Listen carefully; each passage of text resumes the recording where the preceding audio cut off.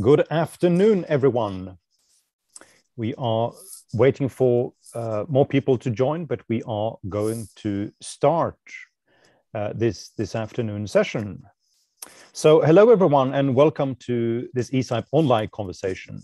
My name is Fredrik Erixon, and I'm very pleased to welcome today Hans Kundnani, a thoughtful and thought-provocative scholar and writer who has been in the global think tank community for quite some time and who writes about matters such as geopolitics, security, Europe, uh, German politics, and the health of liberalism. He is now the director of the Europe program at Chatham House and has previously been with the German Marshall Fund and the European Council on Foreign Relations, among others. He is also the author of the book, The Paradox of German Power, and he joins me now from London. Hello, Hans. I'm very glad to have you with me today. Hi, Fredrik. Thank you so much for having me, and thank you for that kind um, introduction. So, you had very recently, uh, I would say, a very powerful piece in The Guardian that builds on a longer essay that you published in the New Statesman in February this year, where you chart a change in the way that some or many people think about Europe and its identity.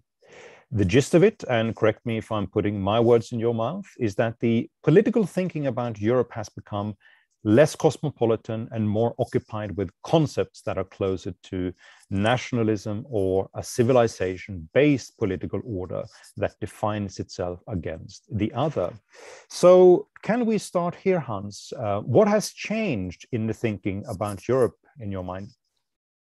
Thanks. Um, yeah, good question. And, and I think that's a pretty accurate summary of, of what I've been arguing in, in those two pieces. Um, I, I, guess I'd, I'd, maybe sort of add two sort of caveats, though. I mean, one is that my argument is not quite that Europe has become less cosmopolitan, but that it was never cosmopolitan, actually. Um, it's just that some pro Europeans imagined that it was. Um, and you know, it seems to me actually that that in itself is is is kind of an expression of, of Eurocentrism because there's this tendency, I think, among pro Europeans to sort of mistake Europe for the world, right? Europe is not the world.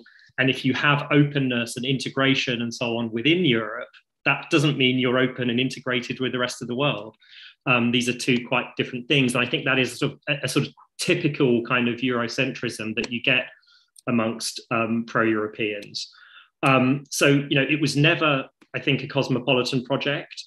Um, and the way I think it's most helpful to think of what you know the EU stands for and, and, what European identity stands for is is you know rather than cosmopolitanism, it's regionalism. You know, it's not nationalism because obviously Europe is not a nation, but it is a region. And so I, I find it helpful to think in terms of regionalism, which is kind of analogous to nationalism. Um, and, and in particular, I think what that means is that, you know, again, there's a tendency in some European countries, particularly Germany, um, to think of nationalism as a purely sort of negative phenomenon. Um, I think it's more complicated than that. Not least, you know, I mean, my father's Indian, and you know, if you think about say Indian nationalism, I don't mean Hindu nationalism now. I mean Indian nationalism, you know, in the context of independence. This was a progressive anti-colonial movement, right? And I think what that illustrates is that nationalism can be progressive, it can be reactionary, it can be inclusive, it can be exclusive. For the purposes of this discussion, you know, importantly, it can be ethnic or cultural, or it can be civic. And my argument is essentially that regionalism is kind of the same. You know, regionalism can be progressive or reactionary, it can be inclusive or exclusive, it can be ethnic or cultural, or it can be civic. And in the history of European identity and the European project, it's had all of these different tendencies as a complex history, which I, am sure we'll get into. Um, but that, you know, regionalism isn't some automatically progressive alternative to nationalism. It's sort of quite analogous to nationalism, essentially. That, that's basically my argument. And then in terms of the, the sort of transformation, I mean, you asked what's changed. The way I think of it um, is that it, there's basically been a transformation in two stages during the last decade. Um, since the euro crisis started and, and, i think that was the you know the, the first sort of probably critical juncture um, you know followed then by a series of other crises and, and so i think the, the, the first thing that happened i think is that europe became much more defensive um, it increasingly started to see the world in terms of threats. Um, and, and, you know, pro European thinking went from being this quite expansive way of thinking about um, sort of endlessly exporting the European model and remaking the whole world in, in the image of the EU. That was problematic in its own way as well. Um, but I think increasingly pro Europeans sort of shifted away from that expansive way of thinking about what the EU was and stood for to a much more defensive model where it's about protecting, you know, this, this word protection, you know, has become really, really powerful within, within sort of EU discourse. And it's all about protecting the EU from various kinds of threats. So I think that's the first kind of shift that happened towards a kind of defensiveness. And then the second shift, and I guess if you had to point to a critical juncture, you would say it's the refugee crisis in 2015. What's happened in particular since then, I mean, it didn't start then, but particularly since then, and as a consequence of the way that the far right, I think, has become more powerful throughout Europe, particularly since 2015, I think that what's happened is that those threats to Europe have been perceived and, and understood in increasingly civilizational, cultural kind of ways. Um, so, you know, you've, you've you sort of had this, this um, increasing use of, you know, concepts like the European way of life and European values, and, and, and, and even talking about Europe as a civilization. And so I think these, you know, you put these two things together, and, I, and it, it, there's a kind of a, a, sort of defensive civilizationalism, I think, you know, um, and, and that to me is what increasingly um, is is you know sort of shaping um, the way that, that pro-Europeans think. So, I mean, there's a lot of interesting things there, Hans, to come back to. But let's just for the purpose sort of of um, of making sure that uh, uh, other people also follow sort of your argument. So you talk about pro-Europeans here. So I, I mean, from that I can sort of conclude that well, it's not sort of an an Orban vision of Europe that has taken hold, right? It's it's it's not that that you're talking about. You're talking about something which is much more anchored in sort of the political center in Europe. Is that right? That's exactly right, and and and um, and, and that's that's what I'm a big part of what I'm trying to draw attention to is it seems to me that there has been this tendency particularly since since 2016 probably to think in quite binary ways of this you know struggle between liberalism and illiberalism between centrism and populism between the eu and euroscepticism um, and actually to me this seems a lot sort of murkier i suppose um, and in particular i sort of already hinted at this you know when, when i was saying that the far right you know has increasingly been sort of shaping the discourse among pro-europeans um, you know, the I, I think you know, Orban and Macron are perhaps a little bit less further away from each other than one might think, or that pro-Europeans want to think. Um, so, you know, I, I, I, do think that you know there's there's this tendency among pro-Europeans to focus on on the you know the Eurosceptic populists, and I'm you know not a fan of Orban, but I think we also need to um, you know examine what pro-European centrists are doing and saying. And, and actually, my impression is that increasingly it's the far right that is shaping a lot of their discourse. Um, I mean, you see it particularly, I think, in, in France um, in terms of you know debates around Islam and, and immigration. Um, and, and, often, I you know, I sometimes I sometimes have the impression when I listen to some pro-Europeans talk is that the only thing that distinguishes them from the far right Orban types is that they're pro European rather than Eurosceptic, right? But they're using many of the same tropes. And, and this brings me back to the point I started with, because I think often they can't see it because they say, well, but we're pro European, we're not nationalists. That's nationalism you're talking about. Um, and, and because we're not, we're anti nationalist or post nationalist and we're pro European, we're doing this at the regional level it's not the same thing, but but actually often it is. And you know, an example of this would be, you know, if you look at the way that the concept of sovereignty is, is, is used by pro-Europeans, very critical of the way that that concept is used at the national level. You know, obviously, particularly in the Brexit context, Brits talking about sovereignty, even though Brits, you know, were talking as much about popular sovereignty as national sovereignty, actually, in the Brexit context. And yet, Europeans now are quite happy to embrace the concept of sovereignty at the European level and, and they tend to sort of think that it's suddenly sort of unproblematic because it's being at the European level, which you know, goes back to the, the point I made about cosmopolitanism. This is a sense of when we talk about European sovereignty, that somehow, you know, um, unproblematic and perhaps even expression of cosmopolitanism, rather than just, you know, a similar trope that nationalists use, except at a regional level. So if we look back a little bit through history of uh, uh, European collaboration, I mean, what we sometimes call the European project.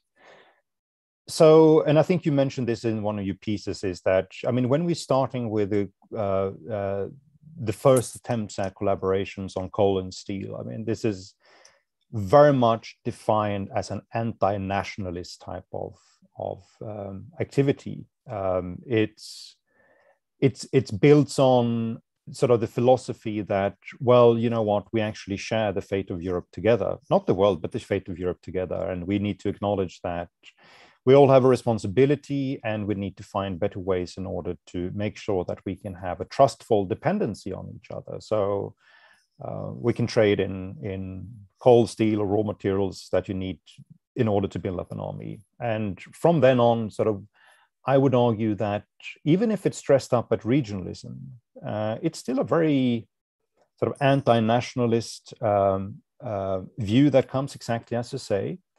Uh, but then I would say there's something which happens um, with the conceptualization of the European project, perhaps in the early 1990s, especially on the back of the successes with creating a single market, with um, a few other things that happens in the world, which were perhaps even more important, like the collapse of uh, uh, of the Soviet Union, um, the uh, reuni- reunification of Germany, um, and all that.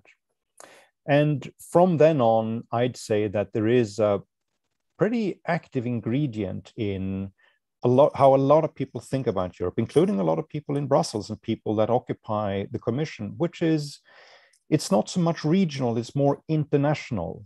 Um, and they look upon the European project as a big civilizing mission. It represents universalist values. It's not values that are specific to Europe or, or, or sort of the regional territory we have in Europe.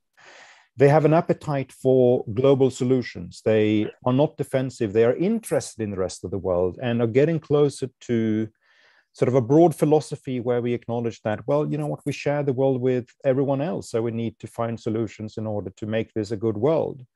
And um, on the basis of that comes sort of, you know, I don't want to use a terminology from international relations, but it's a liberal form of internationalism in sort of broader define that grows from there.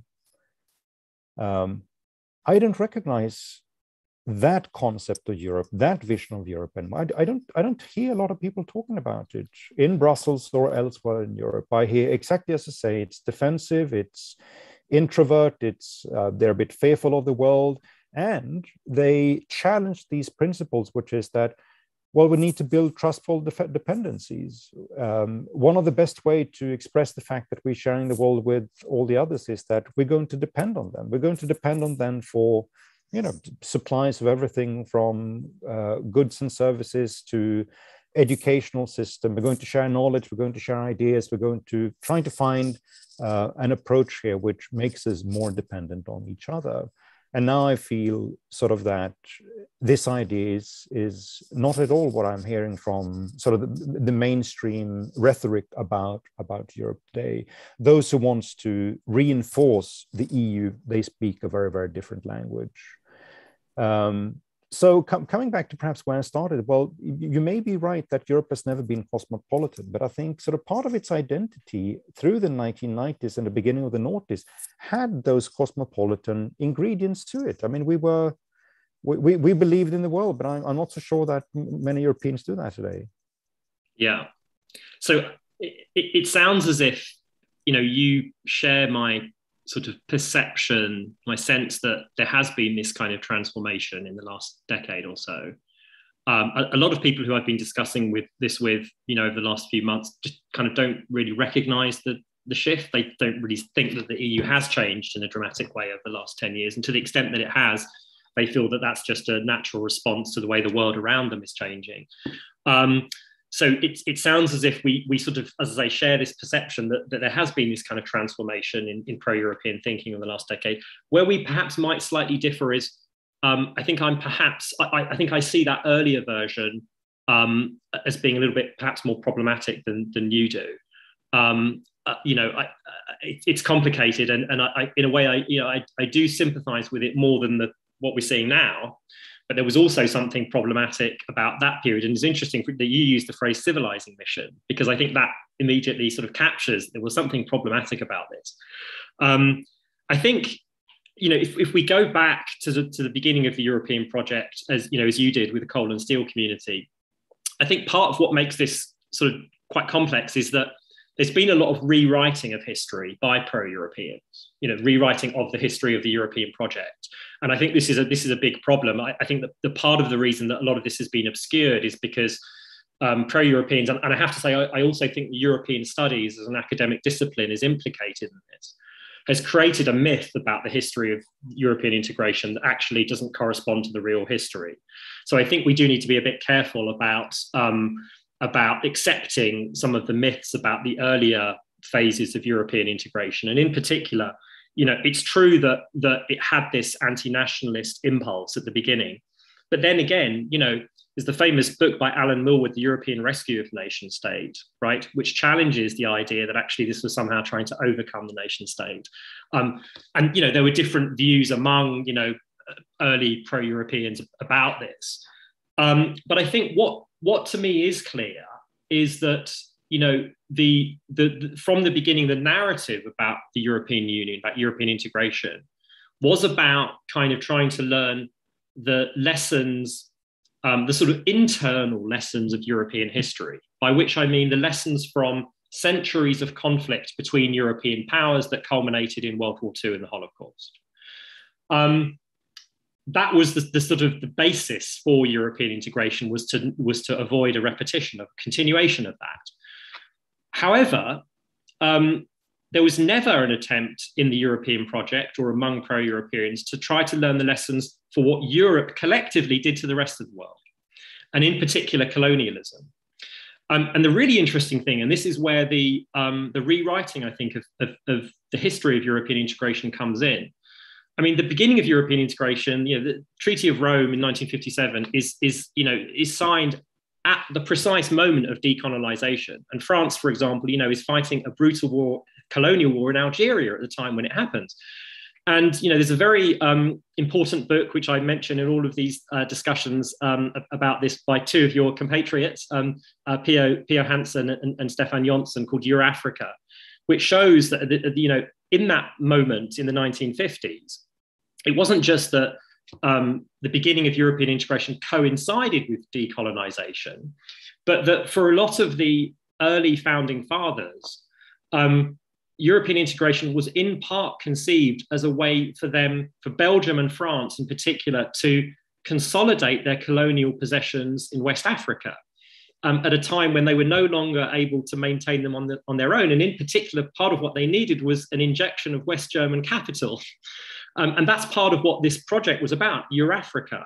Um, it's very striking, for example, and this is something that you know very few pro-Europeans know. But at the time of the Treaty of Rome, the, the territory that it covered, 75%, around 75% of that was in Africa. It wasn't in Europe, because this was, as I say, Belgian and French colonies in West Africa, which the idea was very much to, to maintain.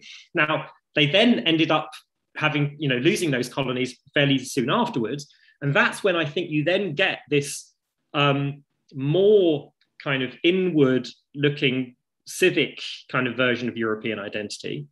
Then I think you're absolutely right, um, though, Fredrik, that what happens after the end of the Cold War is there's a renewed attempt to sort of export Europe so it, you know, it goes you know again from being inward looking to for better or worse to being a bit more outward looking, and they, you know you're right that there was a sort of universalist kind of uh, element of that, but as you've also suggested with the phrase civilizing mission, there was something very problematic about that, which also I think one has to say is a kind of a continuation of earlier European thinking during the colonial period, which also had these universal elements, and it was, you know, justified in the name of the Enlightenment. And the idea was always to remake the world in the image of Europe. Um, and, and, you know, so what I think happens is after World War II, pro-Europeans, especially after the Cold War, pro-Europeans come up with a different way of exporting, you know, the European model and, and, and European ideas and the European, European values and remaking the world in the image of Europe. Now, clearly, you know, it was less problematic than the earlier versions in, in you know in the colonial period but there was still something problematic about it i think. Um, and, and, you know i think it's absolutely right that there was a renewed kind of civilizing mission.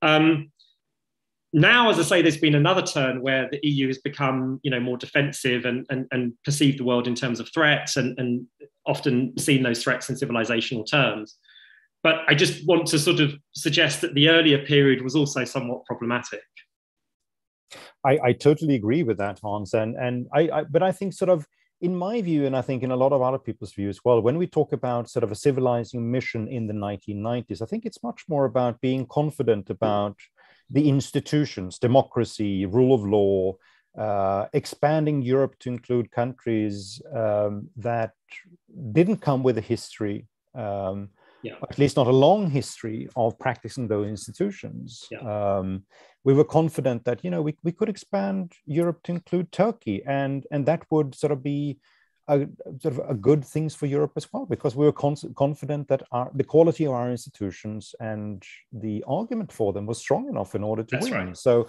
so and but I mean, I'll, I'll, at the same time we could add to that point, which is if we take the colonial element of it and sort of looking back in the whole history that um, Europe becomes also, I mean, sorry, the, the European community becomes partly a vector for old imperial countries, you know, in the 50s, in the 60s, in the 70s, uh, even now, sort of when it comes to having a general approach to uh, the continent where our former colonies were, especially Africa, which were pretty extractive in, in its approach. I mean, we uh, we wanted to um, use the mines. Um, we wanted to get sort of some of the raw material, uh, but we also practiced basically a trade policy which had uh, not the intention but the effect of ma making sure that there wasn't going to be sort of so much value added there.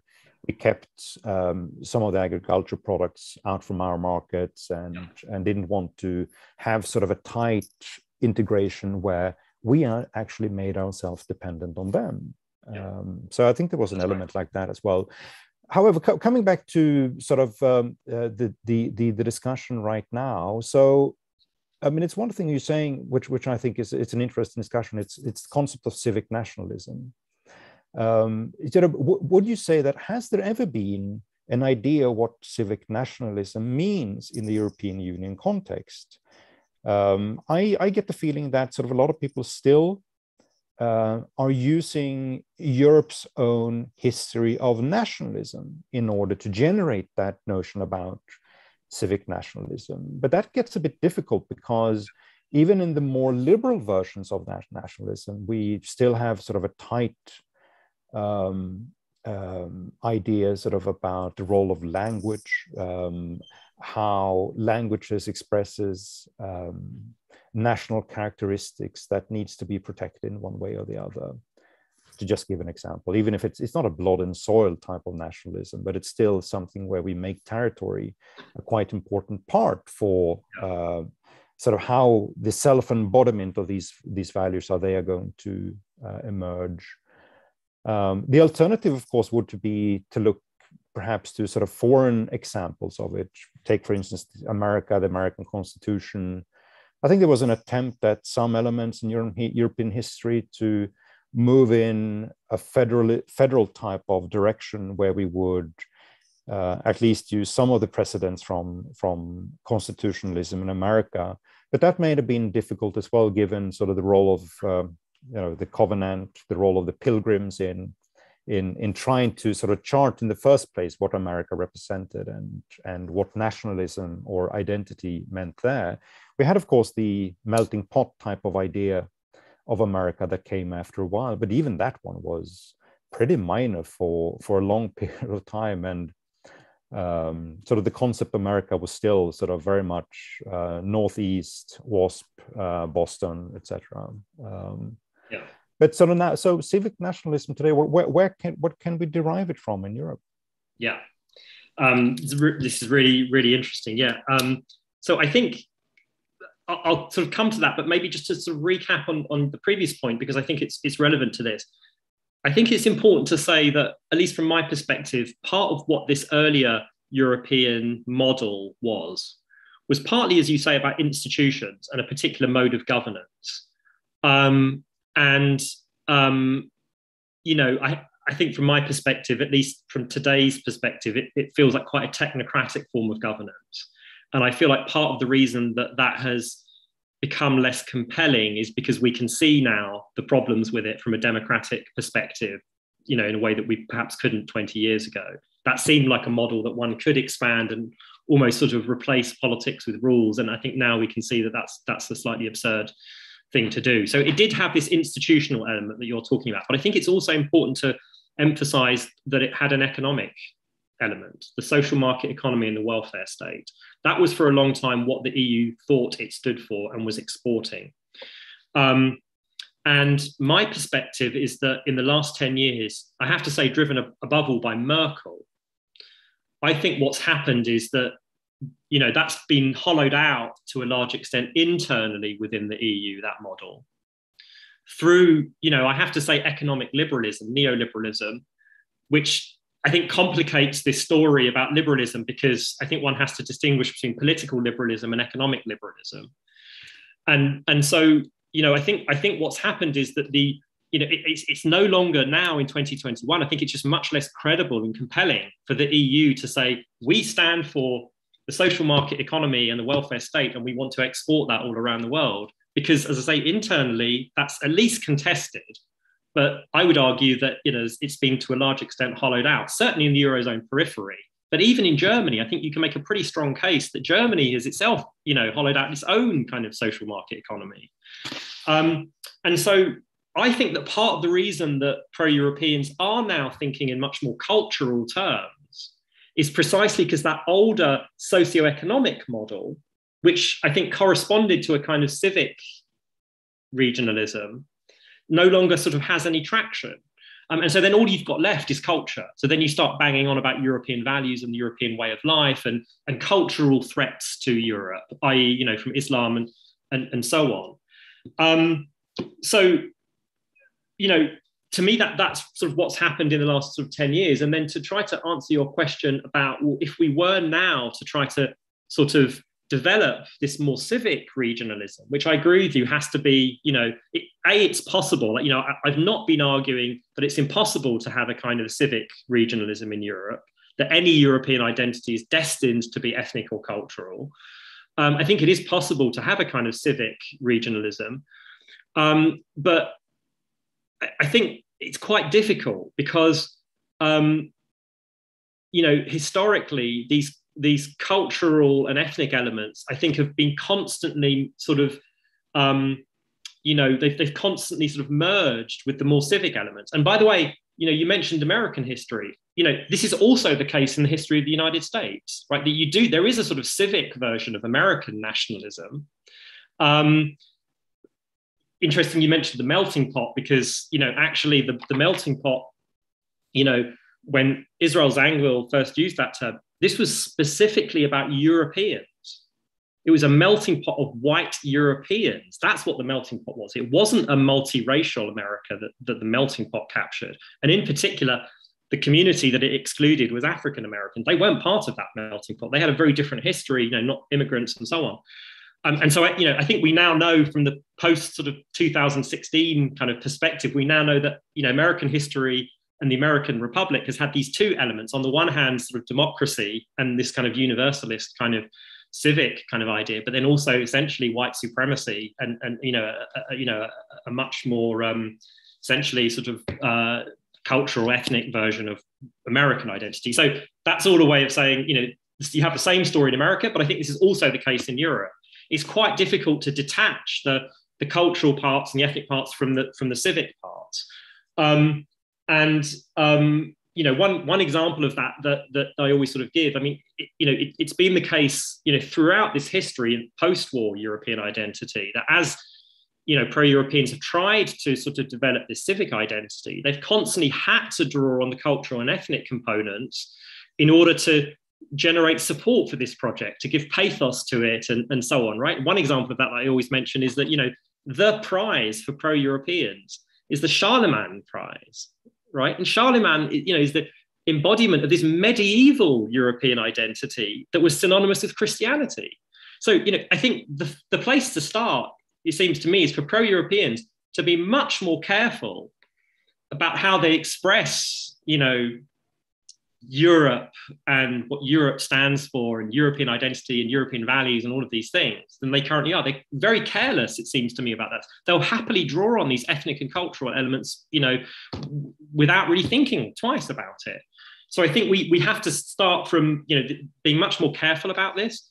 Um, even in terms of you know, the way we use the term, you know, pro-European or the European project, you know, I think we need to say the EU um, and, and, you know, pro EU, not pro European, because I think inevitably you then draw on um, the cultural and ethnic components.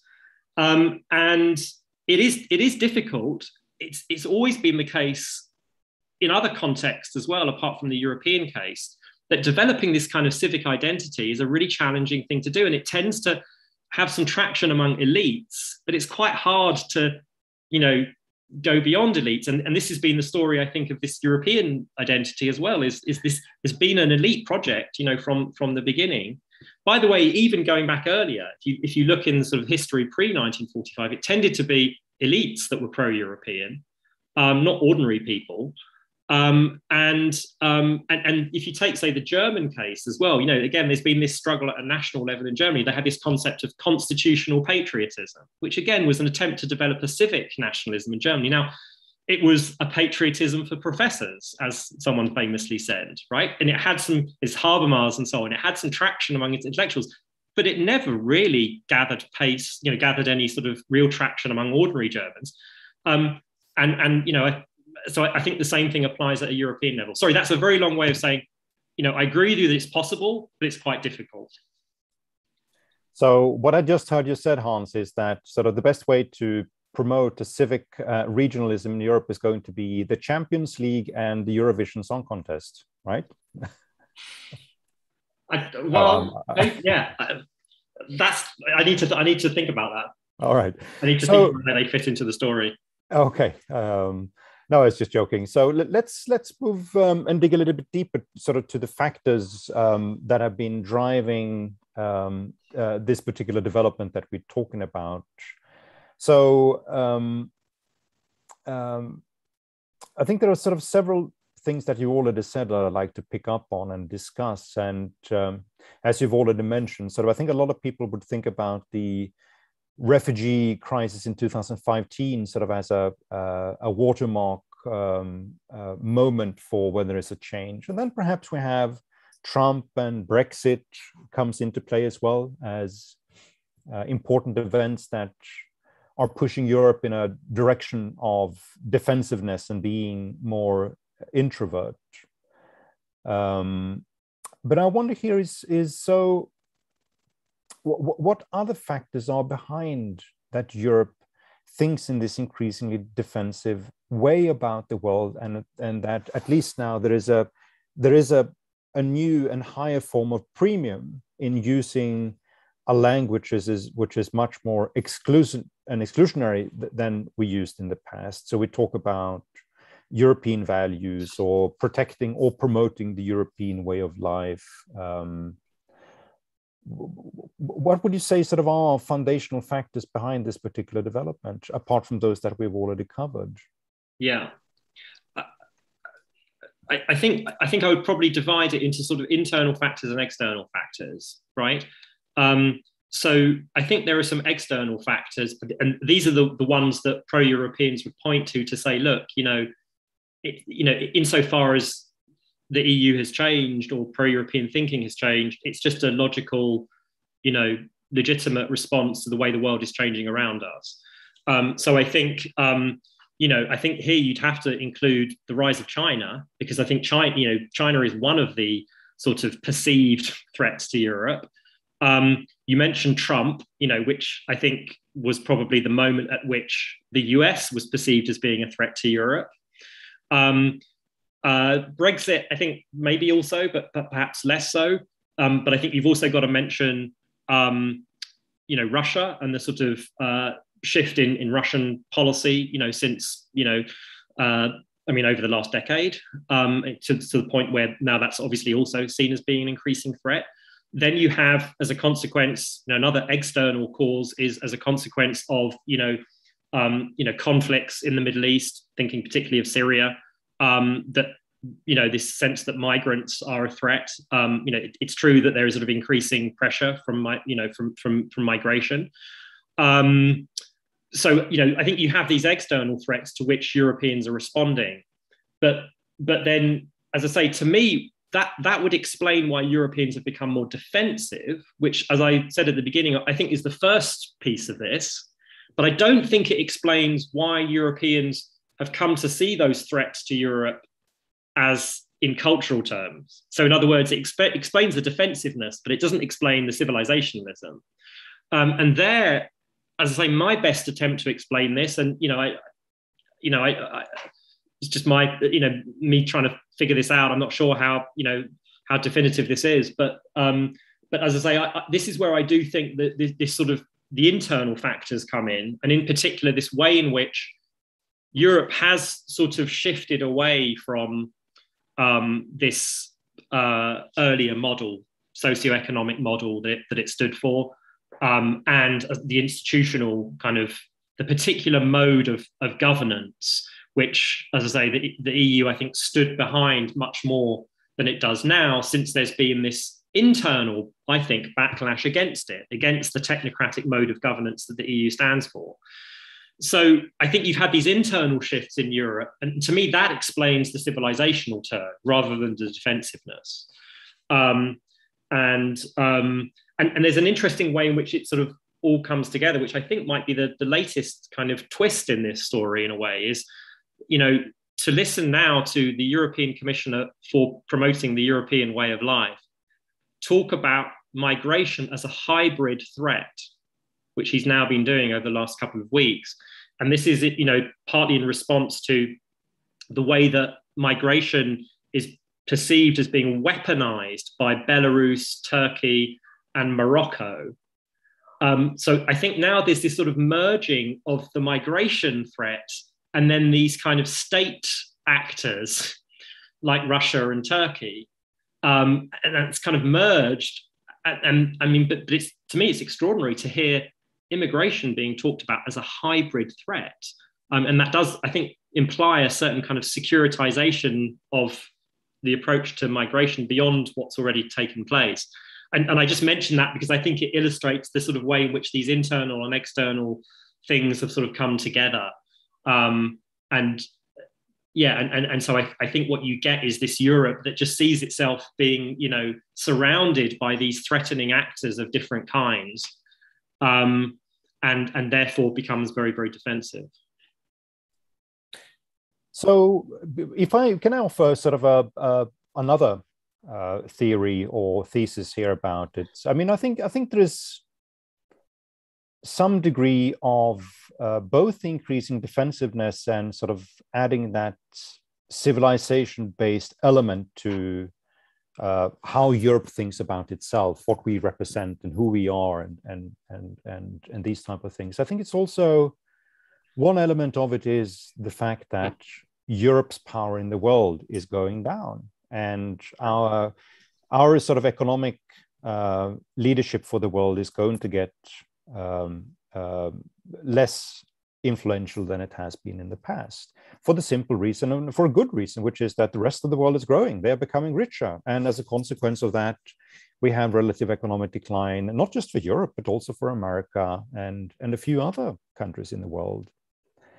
Um, but i i think that sort of part of the um, appetite for the rest of the world that we had in europe in the 1990s were partly because they thought this was a way to maintain European influence and sort of European pride and, and making sure that the world was going to remain pretty Eurocentric in the future. That whatever issue we're talking about, we know that as in history in the past, that a lot of people will have to turn to Europe because that's where that's where we we think that um, the major developments for our future are charted.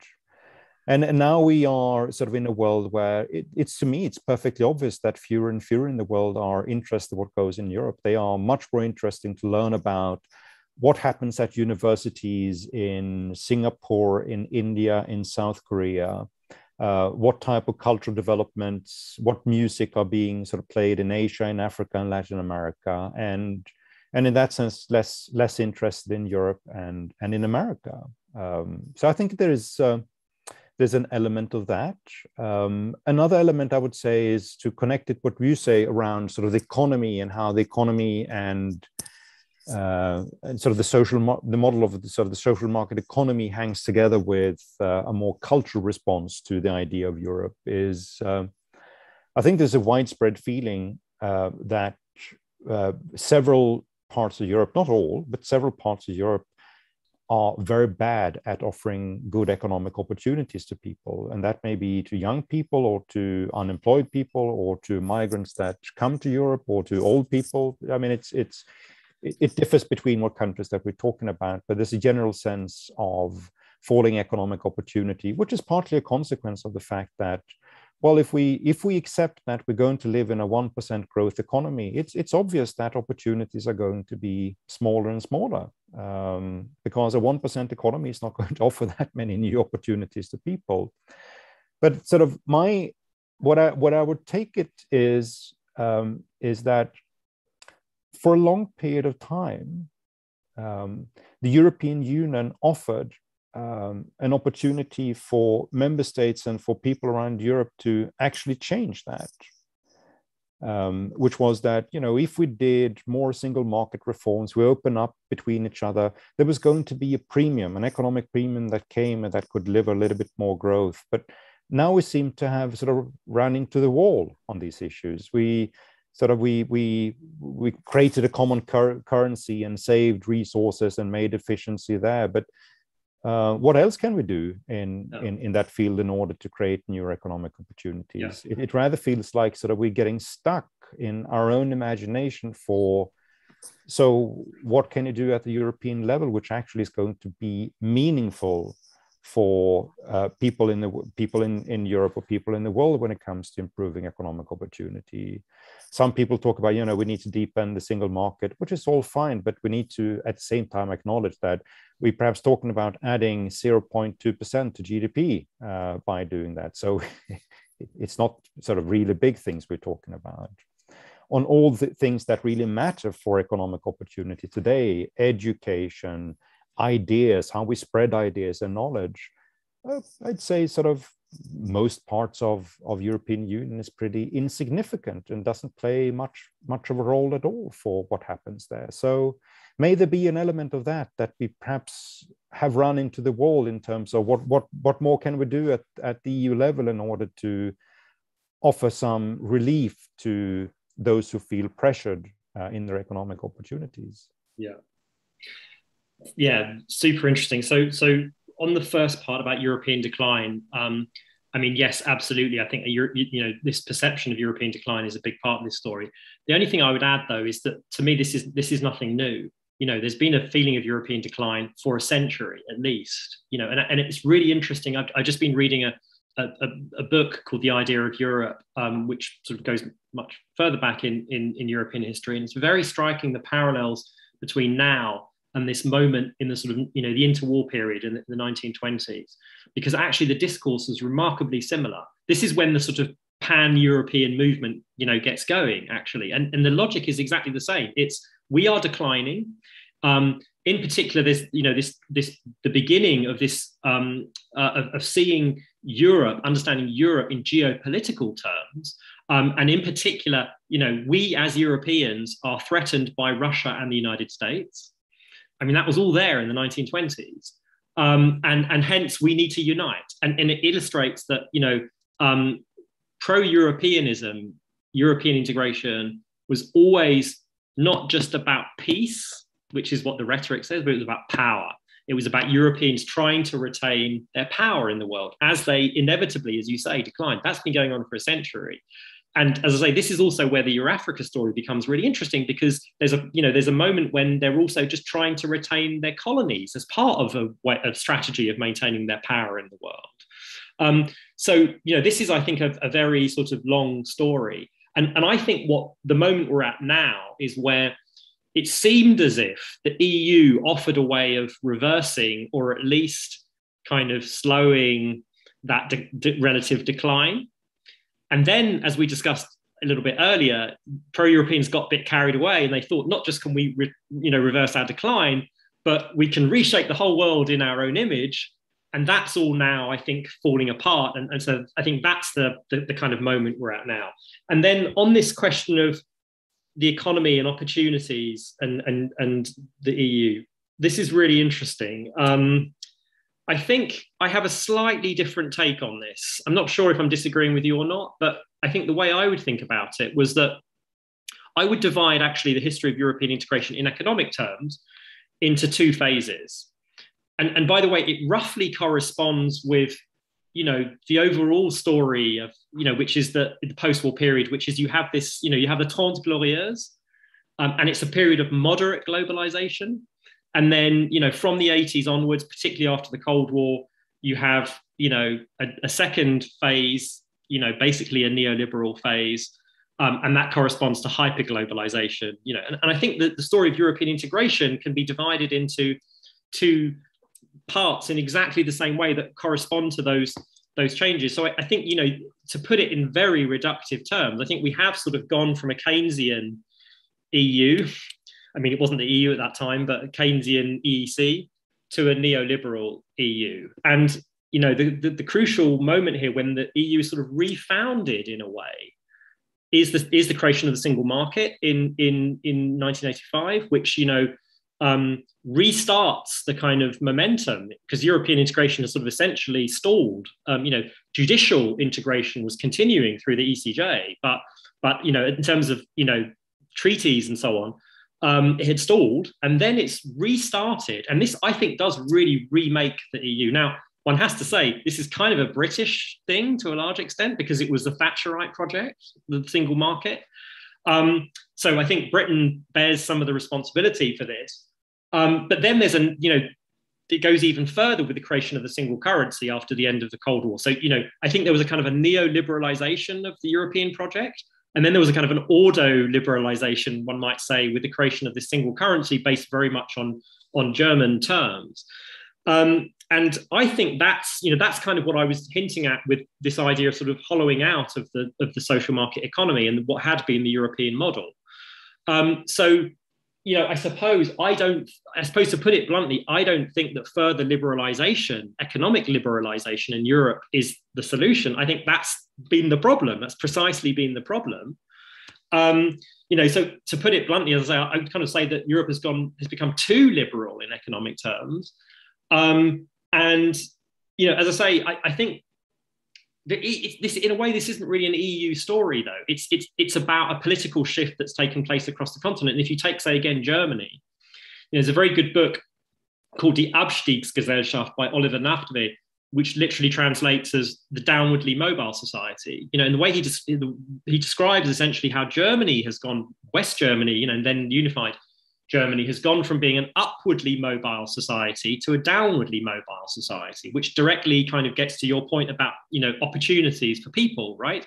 Um, the, the, sort of the creation of the low wage sector and the precariat in Germany, you know, um, let alone in other European countries. Now, where I think the EU fits into that story, it comes back to the technocratic mode of governance that we were discussing earlier, because I think what the EU has done has been to create a set of rules based on that neoliberal thinking in particular obviously the fiscal rules in the in the eurozone and, and sweden is lucky enough not to, to, to be in that um, but because it's kind of constitutionalized that particular economic policy what it's done is it's taken it out of the space of democratic contestation.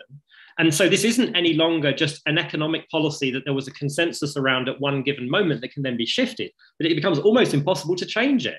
So, you know, now that I think we're seeing, I mean, especially since the pandemic, the need for perhaps a different type of approach, perhaps, you know, bigger governments in, in certain ways, it's quite difficult for the EU, at least the Eurozone, to make that shift because it's constitutionalized the fiscal rules.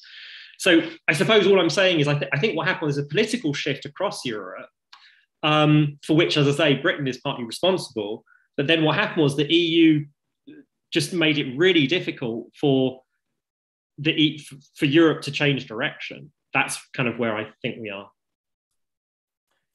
All right, that's very interesting, Hans. Um, we should move on a little bit because we don't have that much time left. I want to ask you a little bit about the future and what you think. Sort of, if you take your analysis um, laid out here, laid out in your articles, where, where do you think Europe is going now? That's. Um, I, I know mean, it's a big, it's a big issue, but the big question. But uh, what, yeah. what's what's the path that I, I think I think I'm, I'm I'm I'm I'm still roughly with um, Claus Offe, the German political scientist who wrote a book a few years ago called Europe Entrapped. Um, and, and, and, and I think Europe is still sort of entrapped. It's difficult to sort of see a way out of all of these different problems. Um, you know, I won't get into it in too much detail, but all the sort of overlapping fault lines within Europe about different sets of issues.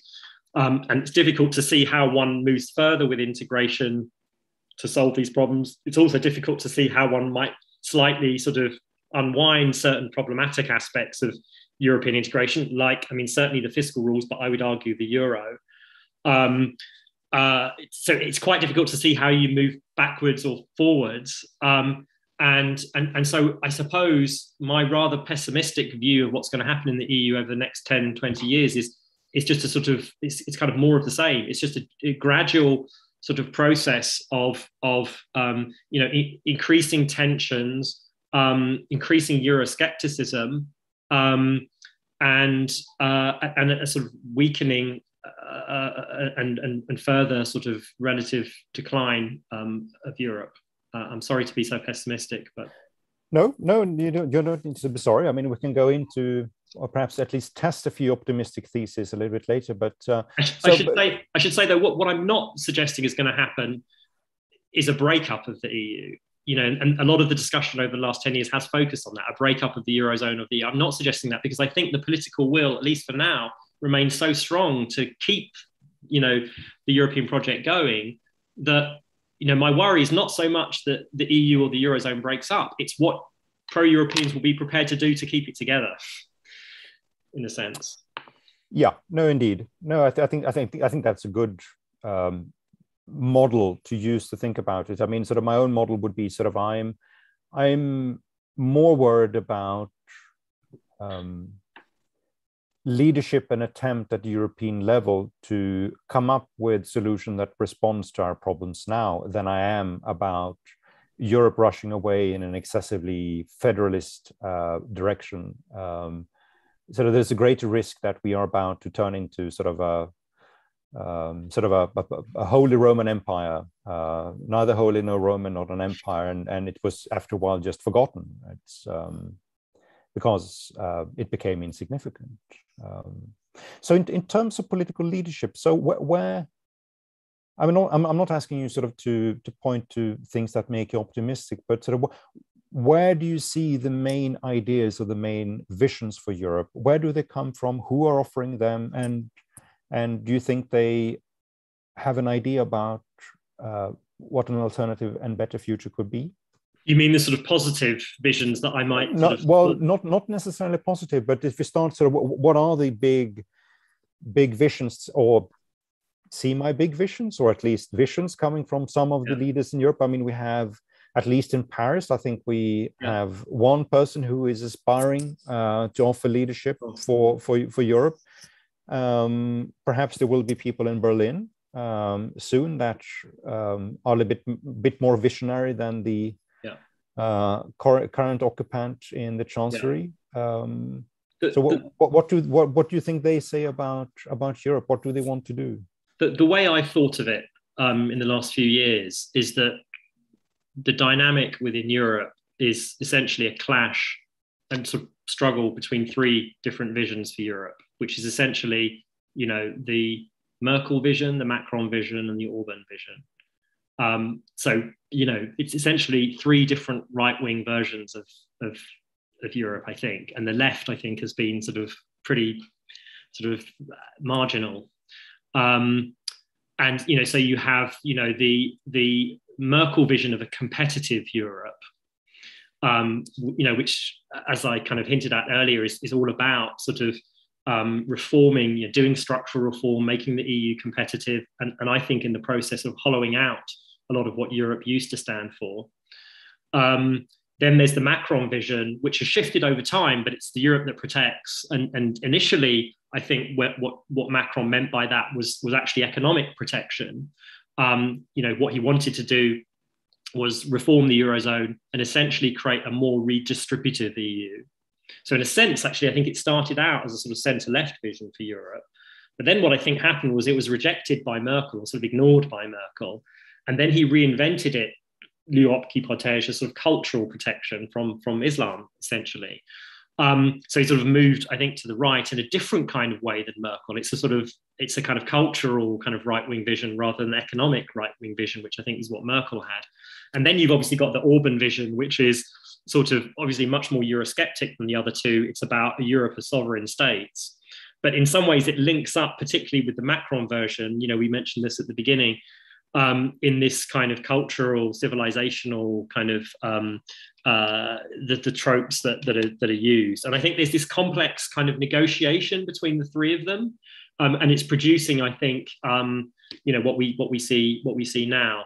Um, I, I, suppose um, if I, if, you know, to try and be a bit more hopeful, you know, maybe with the next German government, if it's led by the SPD, that could lead to something different. But I, I suppose I, I'm a little skeptical because it seems to me that the Merkel consensus continues in Germany even after Merkel leaves, you know, and, and Olaf Scholz, you know, has set himself up as a continuity, you know, the continuation of Merkel in the same way that Laschet has.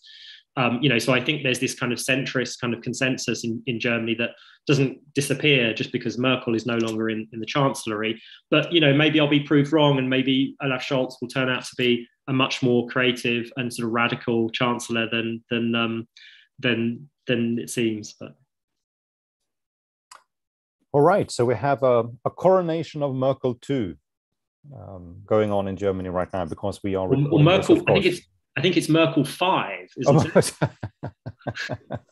or Merkel the second, we can say at least, or Merkel, her, her fifth government. Uh, we're recording this just a few days before Germany uh, goes to the polls. Um, all right, very good. I'm, I'm going to end with a couple of points that have been raised by some of the participants, um, um, uh, which I think sort of are, are, are useful um, and just put them to you. Um, I mean, one is one is on on demography, um, and which I think is a, is a good point to make, given the demographic development in several countries in Europe, uh, Germany, Italy, for instance. Um, um, and there is some, there's something that happens to society, which is uh, have falling populations and where an increasingly large share of the population are grey-haired. Um, uh, so, what do you what do you think uh, demography plays? Uh, how does it play into this? Um, another point is on uh, sort of pushback on on uh, on your critique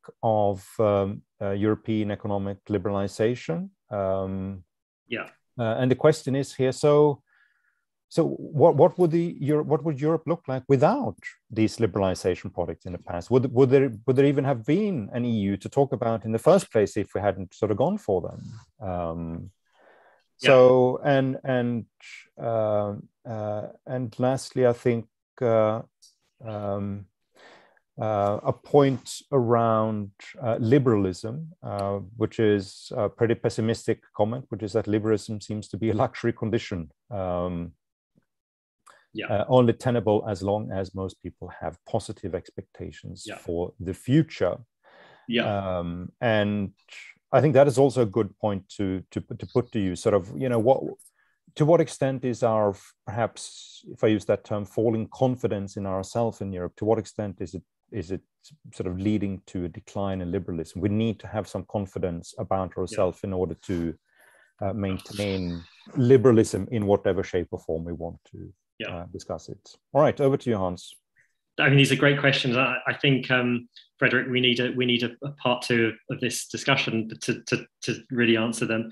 Um, but let me have a quick go. So, first of all, on demography, yeah, absolutely, uh, it's really important and and um, really interesting. I think um, Janet, who who asked this question, um, uh, is talking about Hungary, and, and and I think there is, you know, you, are right that uh, Fredrik, that you know Germany and Italy have you know aging societies, um, but then there's a migration part of this story as well, and and um, you know.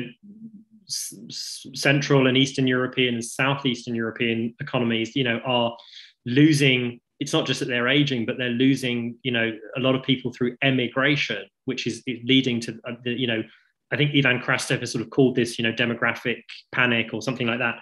Um, and by the way, I think that the consequence of that is going to be that freedom of movement in the long run is not tenable, um, not sustainable. Not not because you know not only because of countries like the UK that had a problem with people coming, but countries that are going to have a problem. I think increasingly people leaving. Um, so I think there's going to be, you know, uh, at some point, you know, a, a rethink of freedom movement is going to be necessary unless the EU is going to be willing to tolerate essentially the depopulation of huge kind of chunks of, of Europe, which I, I can't see that that's politically sustainable. I think the demographic issue is important. I think it's not, it's, it's both cultural and economic. It's both of these things. Um, there's clearly a cultural component to, to the demographic um, fear, not least because you know one obvious solution to this is immigration. You know, so roughly, I think where Europe, a lot of European countries are, is that objectively they need immigration, but they don't want immigration for essentially cultural kind of reasons because that would mean the end of the European way of life. I think that's roughly where we where we are. Um, economic liberalism and competitiveness. So this really does require a longer conversation about, about which you'd have a lot to say, I think, Fredrik. Um, but I suppose, I mean, my quick response to that would be, well, I don't really understand what competitiveness is, and you know, as, as far as a country goes, I understand what a competitive company is. I don't really understand. This is, you know, Paul Krugman. I don't really understand what a competitive country is, and I, and I think the the discourse of competitiveness. And I, I, tried to sort of half answer this question when I was talking about Merkel earlier on. You know, this is very much, I think, the Merkel approach is to make Europe competitive. I think often what that amounts to, at least in the German case, is having a current account surplus. I think that's how um, competitiveness is, is basically defined in Germany. Um, and, you know, the attempt was to kind of make the whole of Europe have a current account surplus, which would be absolutely disastrous for the, for the global economy, right? So I think this is a dangerous route to go down. Um, uh, you know, this sort of competitiveness route. I think it's part of Europe's problem, but it, but I think the other problem with it is it, it, it I think it, it's part of what has exacerbated the the internal imbalances and inequalities within Europe. So I think it, it makes European sort of cohesion harder. And then finally on liberalism, again, this is a long conversation. Um, but I'd want to slightly disaggregate different kinds of liberalism because liberalism can mean so many different things even if you forget the way that americans use it where it's basically a synonym for you know left or progressive um, even if you just you know look at the way that europeans use it, it it can mean so many different things you know liberalism it can be economic liberalism it can be political liberalism it can be liberalism in international relations terms, which is different again, you know, sort of contrasted with realism. Um, now, so it's such a complex kind of thing, liberalism. And this is why, you know, at the beginning I said there's been this tendency to think in a very binary way. You know, this is a struggle between liberalism and illiberalism. And liberalism is good and illiberalism is bad. I, I don't really see it that way. And my personal sort of views, and obviously this reflects my own sort of politics, but you know, I, I sort of am more comfortable with certain kinds of liberalism more than others. Um, and you know, as, as you know, I sort of hinted at a minute ago, I'm somewhat skeptical of not economic liberalism as such, but certainly certain versions of economic liberalism. You know, I am critical of what I would call neoliberalism. So, um, and I think that's a big part of Europe's problem. So, I guess I, I would want to just say liberalism is complicated um, and it's not just this simple good thing. Um, it, it's it's kind of more more complex than that, and um, uh, I'd want to sort of hold on to liberalism in some respects, particularly in political terms. Although there again, it's complicated because often in our discussions, particularly in the sort of foreign policy think tank world, we tend to use liberalism and, and democracy as being almost synonyms. But they're actually not at all. Liberalism is very different from democracy. And in a liberal democracy, there's a tension between liberalism and democracy. They sort of constrain each other. Um, you know, liberalism being, you know, individual rights guaranteed by a constitution, democracy being popular sovereignty.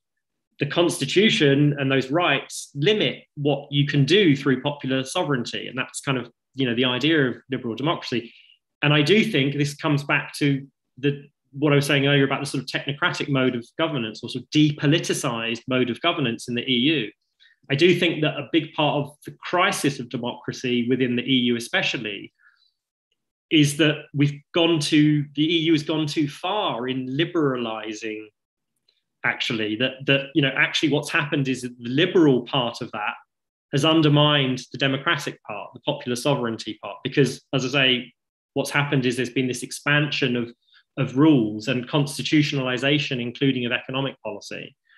Um, so, in a sense, I would say that you know part of the problem within the EU is that liberalism, as distinct from democracy, has gone too far. But as I say, this is a this is getting into real sort of um, complex kind of nu- nuances about about liberalism. So you know maybe we can continue this another time. Absolutely. I'm looking forward to that, Hans. Um, let me just say thank you so much for taking the time. This has been um, uh, a very joyful conversation. I uh, strongly recommend that people read uh, your two pieces. We have also so share them in the chat function, so you can just click on the links there and you can read them. Um, um and hope to see you again soon, Hans, to continue this conversation thank you so much, Fredrik. It's been really fun. We covered a lot of a lot of uh, a lot of different subjects. We did. All right. I hope we thank you. Thanks, Fredrik. Thank you, and thank you to everyone else that have participated, and hope to see you soon. Bye bye.